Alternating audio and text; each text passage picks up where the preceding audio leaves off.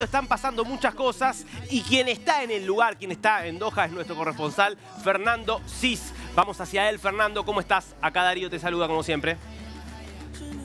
¿Qué tal Darío? ¿Cómo estás? Y no estoy solo aquí en el centro del IBC, estoy con Sergio Javier Goicochea, justo en la antesala del partido frente a Polonia. Bueno Sergio, se viene el partido decisivo, se viene un partido clave. ¿Cómo lo estás viviendo en la antesala de este encuentro que marcará la definición? Respirando. No, a ver, eh, yo creo que desde lo deportivo no cambió el escenario con respecto a la previa con México. O sea, tenés que ganar para clasificar, empatando entras a sacar la calculadora y bueno, el otro resultado ni nos nombremos.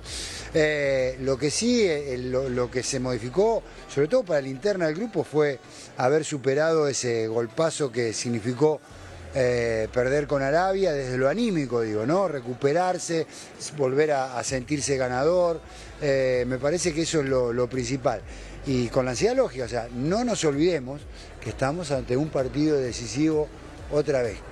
Igual de importante que, que México, eh, quizás menos dramático, en el sentido de que nos hacíamos muchas preguntas y muchos interrogantes de cómo iba a reaccionar el equipo después del cachetazo de Arabia. Bueno, hoy eso ya lo sacamos, reaccionó bastante bien. Ahora queda ganar.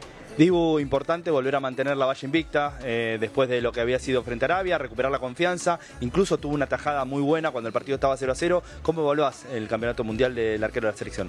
Bien, es que la verdad contra Arabia, o sea, no, le patearon al arco salvo dos goles. Voy a decir, los dos goles que uno cruzado abajo, el otro un golazo, que si, si no tiene las aptitudes que tiene, termina quedando separado y mirando la pelota y hubiéramos dicho, uy, qué golazo, más aún. Pero como se tiró, la tocó y todo, parece que ah, podría haber hecho algo más. No, ya demasiado que llegó a tocarla. Eh, y el otro día, en ese momento difícil, porque es una pelota parada, no pasaba nada en el partido, eh, y, se quedó con ese tiro libre que si por ahí eh, no adivinaba, no arrancaba, no intuía, se transformaba en un el 1 a 0 de México. Imagínate si era complicado hasta los 60 con el 0 a 0, con un 0-1 hubiera sido prácticamente imposible. ¿Nos podemos ilusionar con que el Arabia sea el Camerún del 90? Ojalá, eh, ojalá y que eh, no tenga el mismo final. Aunque hoy si decís, bueno, llego a la final, ya lo, firmo, pero ya firmar que vas a perder la final del mundo es jodido. O sea, podés firmar que, que vas a llegar, pero que la perdés no. Gracias, Goico. ¿eh? Gracias.